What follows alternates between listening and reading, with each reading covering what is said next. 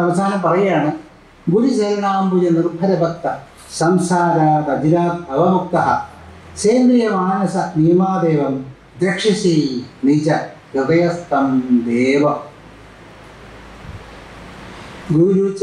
ഗുരുചരണാംബുജ നിർഭരഭക്ത സംസാര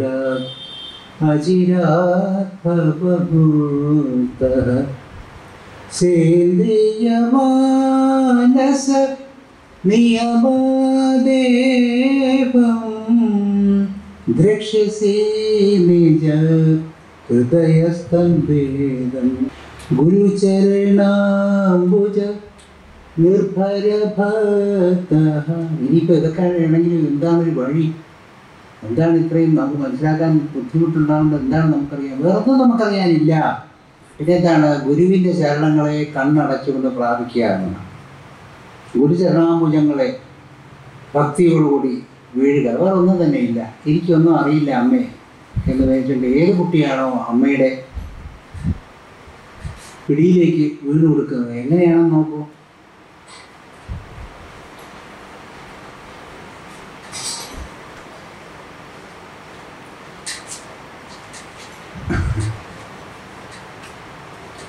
രണ്ട് മാർഗങ്ങളുണ്ട് മാർഗാര ന്യായവും മക്കള ന്യായം ശരണാഗതിക്ക് രണ്ട് വഴികളാണ്. മക്കളം എങ്ങനെയാണ്? അമ്മയുടെ പുറത്ത് അള്ളി പിടിച്ച് കിടന്നു കള്ള വന്ന് നിന്ന് ആ കയറ് വണ്ടിയിൽ. ഞാൻ നിന്നിരിക്കുകയൊന്നുമില്ല അങ്ങനെ വിചാരിക്കണ്ട. കയറി കയറി ഞാൻ കൊണ്ടുപോട്ട് നിൽക്കുകയൊന്നുമില്ല അങ്ങോട്ട് ചാടി പിടിച്ച് കിട്ടുന്ന സത്തതിന് നോക്കി വയറ്റിൽ കയറി പിടിച്ചങ്ങ് കിടന്നോ അതാണ് മക്കളെ ന്യായം. മാർജാല ന്യായം എന്താണ് നേരെ തിരിച്ചാണ് സറണ്ടർ ചെയ്യുന്നു തൂക്കിയെടുക്കുന്നത് അപ്പോൾ ഈ രണ്ട് രീതികളിലും ശരണാഗതി ഉണ്ടെന്നാണ് വേദാന്തികൾ പറയുന്നത്. മാർജാര രീതി മാർജാര ന്യായത്തിലും മക്കട ന്യായത്തിലും ഈ രണ്ട് രീതിയിലും കിടക്കുന്നു. ഇത് ഏതായാലും ശരിക്കൊള്ളാം അങ്ങോട്ട് നിർബന്ധമായിട്ട് നമ്മൾ കരഞ്ഞ പിള്ളയ്ക്ക് പാലുള്ളൂ എന്ന് പറഞ്ഞിട്ട് അങ്ങോട്ട് ഇടുന്ന് വെള്ളം ഉണ്ടാക്കി പിടി കൂടിയാലും കുഴപ്പമൊന്നുമില്ല. അതിൽ നഷ്ടമൊന്നുമില്ല. കുറച്ച് അവിടെ തലവേനയൊക്കെ ഉണ്ടാവും. വലിയ ശല്യമുണ്ട്? ബാക്കിയുള്ള തോന്നി ശല്യം ഇയാളെ കൊണ്ട്? അല്ലെങ്കിൽ ഇയാളെ കൊണ്ട് എന്ത് ശല്യം? എന്ന് വിചാരിക്കും. നല്ലതന്നെ അവർ കുറേ കർമ്മങ്ങൾ എടുത്തുകൊണ്ട് പോകും. ഒരു സങ്കേതത്തിൽ ഒരു ആത്മീയ സങ്കേതത്തിൽ വരുന്നവരെ നമ്മൾ എങ്ങനെ ഉപദ്രവിക്കാൻ നിൽക്കുന്നു അവിടെ നമ്മുടെ കർമ്മം അവരിലേക്ക് പൊയ്ക്കൊണ്ടിരിക്കുകയാണ്. അതറിയാതെ പൊയ്ക്കൊണ്ടിരിക്കുകയാണ്. അപ്പോൾ ഒരാളെ ഉപദ്രവിക്കണമെന്നുണ്ടെങ്കിൽ അവരെ കൊണ്ട് ആരെങ്കിലും പരാതി അറിയിച്ചാൽ മതി അവരെന്നെ എടുത്തോളൂ അത് വ്യക്തികളെന്നല്ല. ഞാൻ കഴിഞ്ഞ ദിവസം സൂചിപ്പിച്ച പോലെ നിസ്സാരമായിരിക്കുന്ന ഒരു കപ്പ് പോലും എടുത്ത് പൊട്ടിക്കുകയാണെങ്കിൽ അതിന് ഉത്തരവാദിത്വം. ഒരു ചെറിയ കാര്യം പോലും അങ്ങനെ സംഭവിക്കാൻ പാടില്ല എന്ന് വിചാരിച്ചു കാരണം അവിടെ കിടക്കുന്ന മുഴുവൻ കർമ്മങ്ങൾ വളരെയധികം കർമ്മങ്ങളാണ് അല്ലാതെ നമ്മൾ വിശ്വസിക്കുന്ന ഗുരുവിനും നമ്മൾ തമ്മിലുള്ള ബന്ധം കൊടുക്കും അങ്ങനെ എനിക്ക് ആ നാളേക്ക് പറഞ്ഞ കാര്യം മനസ്സിലാകും പോവാ എന്ന് പറഞ്ഞുകൊണ്ട് എന്തെങ്കിലുമൊക്കെ ചെയ്യുന്ന ഒരു കാര്യമില്ല. പോകുന്നവരാണ് അതൊരു സാക്ഷി മാത്രമാണ്. ഒരു സാക്ഷി മാത്രമാണ്. ഈ ചെയ്ത് ഉപദ്രവിക്കുന്നവരാണ് അതിന്റെ മുഴുവൻ ഫലം എടുത്തുകൊണ്ട് പോയിക്കൊണ്ടിരിക്കുന്നത്. നമ്മൾ അറിയാതെ ഇങ്ങനെ ഓരോ കാര്യങ്ങൾ ചെയ്തുകൊണ്ടിരിക്കുന്നു എന്നർത്ഥം നിസ്സാരമായിട്ട് നമുക്ക് അറിയാൻ പറ്റാത്ത വിവരമില്ലാത്തതുകൊണ്ട് ചെയ്യുന്ന കാര്യങ്ങൾ വിവരമില്ലാത്തതുകൊണ്ട് ക്ഷമിച്ചേക്കാം പാവം. അങ്ങനെയുണ്ടോ? ഇന്ത്യൻ നിയമത്തിൽ ഇഗ്നറൻസ് നോ എക്സ്ക്യൂസ് എന്നാണ്. അറിവില്ലായ്മ എന്ന് പറയുന്നത് എക്സ്ക്യൂസ് അല്ല നിയമത്തിന് എന്ന് കോടതി പറയും. എനിക്ക് അറിഞ്ഞൂടായിരുന്നു കൊല്ലം കൊല്ലാൻ പാടില്ല എന്ന് അറിഞ്ഞൂടായിരുന്നു ഞാൻ പിന്നെ പിച്ചാത്തി എത്തിയപ്പോൾ ഒരു എത്തി കിട്ടി എനിക്ക് അത്തുപോയി പക്ഷെ അറിഞ്ഞൂടായിരുന്നു എന്ന് പറഞ്ഞാൽ ആ വാ എന്ന് പറഞ്ഞാൽ അയാളെ കൂട്ടിനകത്താക്കുന്നു. ഇഗ്നറൻസ് ഇസ് നോ എക്സ്ക്യൂസ് അതുകൊണ്ട് അറിഞ്ഞുകൂടാന്ന് പറഞ്ഞിട്ട് കാര്യമില്ല. നമ്മൾ ഓരോ കാര്യം ചെയ്യുമ്പോഴും ഇതുപോലുള്ള സംവിധാനങ്ങളിൽ നമ്മൾ ഒന്ന് വിടുന്ന എന്തിനെന്ന് വെച്ചാൽ നമ്മുടെ കർമ്മങ്ങളെ പൂർണ നിർവചനം ചെയ്യുന്നതിന് വേണ്ടി. അവിടെ നിന്ന് പുതിയ പുതിയ സാധനങ്ങൾ റിഫ്രഷ് ചെയ്തെടുക്കുന്നതിന് വേണ്ടിയാണ് നമ്മളൊരു ചാൻസിൽ വന്ന് വിടുന്നത്. അവിടെ നമ്മൾ നെഗറ്റീവായിട്ട് തിരിച്ചെടുത്തുകൊണ്ട് പോയത് അത് വളരെ ശ്രദ്ധിക്കേണ്ട വിഷയമാണ്. ഓജി സംഗതി. ഇപ്പം നമ്മൾ അതിന് ഉത്തരവാദിത്തപ്പെട്ട ആൾക്കാർക്ക് ചിലപ്പോൾ വഴക്കൂടേണ്ടി വരും. മുഖം നോക്കാതെ വഴക്കൂടേണ്ടി വരും. എന്തുകൊണ്ട് വഴക്കൂടേണ്ടി വരും എന്ന് വെച്ചാൽ ഇതിന്റെ ഫലം എന്താണെന്ന് നന്നായിട്ട് അറിയാവുന്നുണ്ട്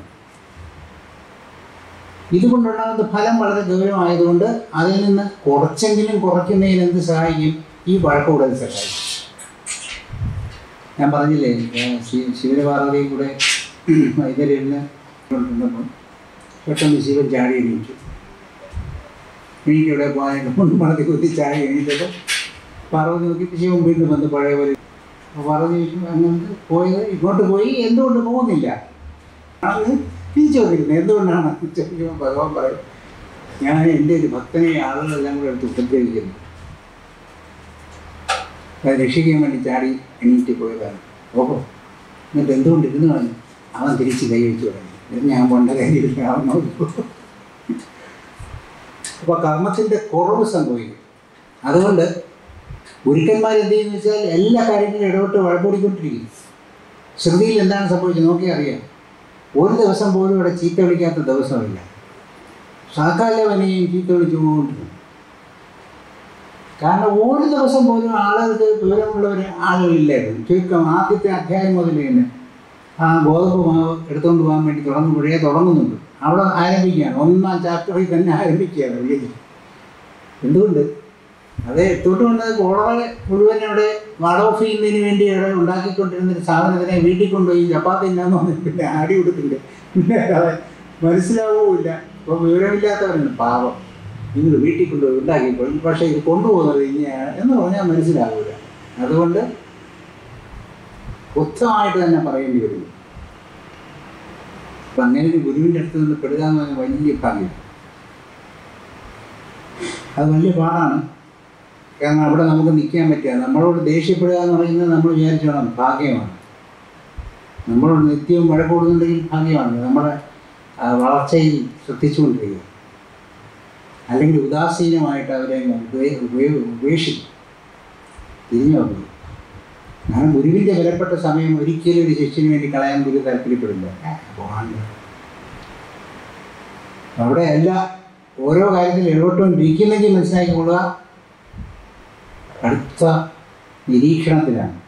ഒരു ചെറിയ സംഗതിയെ പോലും ലെൻസ് വെച്ച് വലുതായി കണ്ട് ഉഴപ്പൊടുക്കൊണ്ടിരിക്കുന്നു എന്ന് വിചാരിച്ചു ഗുരുരാമപുര നിർഭജ നിർഭര ഭക്ത സംസാര അജിരാഭവമുക്ത അങ്ങനെയുള്ളവൻ അചിരേണ താമസിയാതെ സംസാരത്തിൽ നിന്ന് മുക്തനാവും.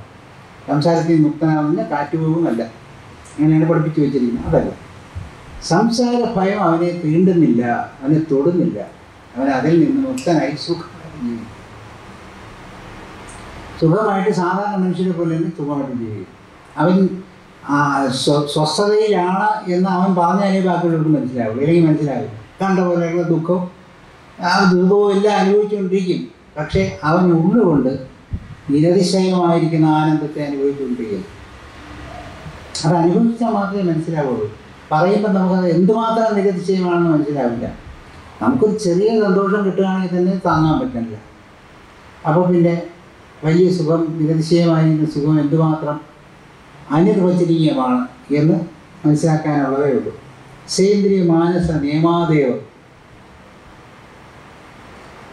ഇന്ദ്രിയങ്ങളെയും മനസ്സിനെയും നിയമിച്ചുകൊണ്ട് അതായത് നിയന്ത്രിച്ചുകൊണ്ട് നിയമങ്ങളോട് ഇന്ദ്രിയ മനസ്സുകളെ നിയമ നിയമങ്ങളിലൂടെ നിയന്ത്രണങ്ങളിലൂടെ നിയന്ത്രിച്ചുകൊണ്ട് ആരാണ് പോകുന്നത്? കാരണം എന്തുകൊണ്ട്? ഇന്ദ്രിയങ്ങൾ അതിന്റെ വഴിക്ക് പോകില്ല ചിന്ത മുഴുവൻ എന്തിനാണ്? ഗുരുവിൽ മാത്രമാണ്. ഗുരുവിന് വേണ്ടി എന്തെങ്കിലും ഒരു കാര്യം കാണും. ഗുരുവിന് വേണ്ടി ഭക്ഷിക്കും. ഗുരുവിന് വേണ്ടി ചിന്തിക്കും. ഗുരുവിന് വേണ്ടി പാടും. എല്ലാം ഗുരുവിന് വേണ്ടിയായിരിക്കും. അതിങ്ങനെ കൂടെ കൂടെ ഈ തിരട്ടി വരില്ല. എല്ലാം സ്വാമിയാണ്. സ്വാമിക്ക് വേണ്ടി ഇതിങ്ങനെ സോമി സോമി എന്ന് പറഞ്ഞ് പറഞ്ഞുകൊണ്ടിരിക്കില്ല അങ്ങനെ പറയുന്നത് കള്ളനായിരിക്കും. ഒരു സംശയമില്ല. എന്നോട്ട് കുറിച്ചിട്ടുണ്ടാവില്ല. അങ്ങനെ പറയാനേ പോകില്ല പറയാൻ ഒക്കില്ല. കാരണം സ്വാമിക്ക് വേണ്ടിയല്ല ഗുരുവിന് വേണ്ടി അല്ലാതെ ഒന്നും ചെയ്യാനില്ലാത്തവന്റെ പ്രത്യേകിച്ച് ഗുരുവിനെ കുറിച്ച് പണ്ട് നമ്മുടെ ത്യാഗീശ്വര സ്വാമി ഒരിക്കൽ നിത്യസ്മൃതി എന്ന് പറയുന്ന നിത്യ ചൈതന്യതിയുടെ സ്മ- സ്മരണയ്ക്ക് വേണ്ടിയുള്ള ഒരു പ്രോഗ്രാമിൽ ഞാൻ അതിന് പ്രഭാഷണം നടത്താൻ വേണ്ടി പോയിരുന്നു അപ്പോൾ അദ്ദേഹം ഉദ്ഘാടനം ചെയ്യുമ്പോൾ അദ്ദേഹം പറഞ്ഞു ഞങ്ങളെ സംബന്ധിച്ചിടത്തോളം നിത്യസ്മൃതി എന്ന് പറയുന്നത് നിത്യസ്മൃതിയാണ്. കാരണം ഗുരു നിത്യയെക്കുറിച്ച് ഞങ്ങളെപ്പോഴും ആലോചിച്ചുകൊണ്ടിരിക്കുന്നുണ്ട്. ഇനി ചരമോഷത്തിന് മാത്രം ആഘോഷിക്കേണ്ട ഒരു കാര്യവുമില്ല. അത് ഞങ്ങൾ നിത്യമായിട്ട് സ്മരിച്ചുകൊണ്ടിരിക്കുന്നത് അതാണ് ഗുരുവിന്റെ സ്മരണം നിത്യമായിട്ട് സ്മരിച്ചുകൊണ്ടിരിക്കുന്നുണ്ട് കൂടെ കൂടെ പൊട്ടിന് തേങ്ങയിടും പോലെ സ്വാമിക്ക് വേണ്ടി. സ്വാമി പറഞ്ഞു സ്വാമി ഇല്ല എന്ന് പറഞ്ഞുകൊണ്ട് ചെയ്യേണ്ട കാര്യമൊന്നുമില്ല. അങ്ങനെ ചെയ്യുന്നെങ്കിൽ നോട്ട് ചെയ്തോളുക അത് പ്രകടനപരത മാത്രമാണ്. അറിയാതെയാണെങ്കിൽ ഇപ്പോഴും പ്രകടനപരത ഉണ്ടാവും. അപ്പോൾ ഇത് ഇതെന്തുകൊണ്ടുണ്ടാകുന്നു ഭക്തി കൊണ്ടല്ല പ്രകടനപരമാണ്. നമ്മൾ നമ്മൾ ഗുരുവിന്റെ ഒരു വലിയ ആളാണ്. ഗുരുവിന്റെ അടുത്ത് നിൽക്കുന്നു എന്ന് കാണിക്കാൻ വേണ്ടി നമ്മൾ ഇങ്ങനെ വ്യർത്ഥമായിട്ടുള്ള സംഗതികൾ കാണിച്ചുകൊണ്ടിരിക്കുക അത് എന്തെങ്കിലും ഒരു കുറവ് വന്നു കഴിഞ്ഞാൽ അവിടെ ദുഃഖം വരിക. കാരണം എന്റെ സ്ഥാനം എല്ലാം പോകുമോ എന്നുള്ളതാണ്. അപ്പം അതല്ല നിർഭരമായിരിക്കുന്ന ഭക്തി എന്നിവിടെ സൂചിപ്പിക്കുന്നു. സേന്ദ്രിയ മാനസതീയമാതയും അതുകൊണ്ട് മനസ്സിനെയും ഇന്ദ്രിയങ്ങളെയും നിയമി നിയമിച്ചുകൊണ്ടിരിക്കുകയാണ്. നിയന്ത്രിച്ചുകൊണ്ടിരിക്കുകയാണ്. ദക്ഷസീൻ നിജ ഹൃദയസ്ഥം ദേവം. അവൻ ഹൃദയസ്ഥനായിരിക്കുന്ന ദേവനുമായി താതാത്മ്യം പ്രാപിക്കുന്നു എന്ന് പറഞ്ഞു കഴിഞ്ഞാൽ ഹൃദയത്തിലിരിക്കുന്ന ദിവാസ്വരൂപം ജ്യോതിസ്വരൂപം പ്രകാശം എന്ന അർത്ഥമാണ് ഒരു ഭക്തനത് ഹൃദയത്തിലിരിക്കുന്ന മഹാവിഷ്ണു അല്ലെങ്കിൽ ശൈവന് ഹൃദയത്തിലിരിക്കുന്ന പരമശിവൻ എന്നൊക്കെ വ്യാഖ്യാനിക്കാം. പക്ഷെ ഒരു വേദാന്തിയെ സംബന്ധിച്ചിടത്തോളം ഹൃദയസ്ഥം ദൈവം എന്ന് പറഞ്ഞാൽ ദിവ ദ്യവും എന്ന് പറഞ്ഞാൽ പ്രകാശം. ആ പ്രകാശം ആത്മപ്രകാശത്തിലേക്ക് ഒരുവൻ എത്തിച്ചേരുന്നു. എന്നാണ് കൃത്യം ഏതയോടുകൂടി അടുക്കുന്നതോടുകൂടി നമ്മുടെ അവസാനത്തെ സുഹൃത്തവും സമാപിക്കുക.